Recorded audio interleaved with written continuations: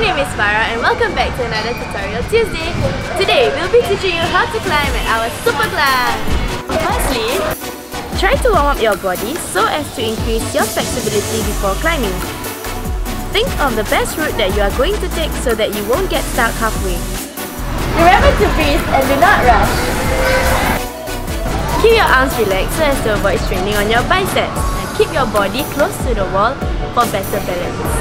Always move your feet to the next rock before reaching for a handhold. And instead of using your hands to pull you up, use your legs to push yourself up.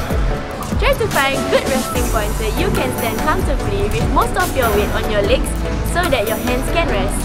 To drop from the wall, simply just hold on to the rope, go to a sitting position and kick yourself off the wall while descending.